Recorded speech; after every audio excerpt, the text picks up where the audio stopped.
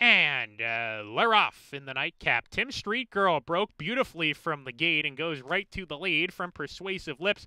Hard sent to keep pace with that pace setter, and those two hook up on the front end. They open up two on Stradari, who's running in third. Breaking the code right inside of her. A gap of two lengths to Shirley a Smile, racing alongside of Thrills Legacy. Money is next, second to last, usually towards the front of the field. Today she's well back, and the trailer early on at the back is truly fabulous. They hit the far turn run, and the leader is Persuasive Lip. She's cleared off, leads by a length. Stradari taking second as Tim Street Girl plummets back. It looks like she's done as the pace setter here.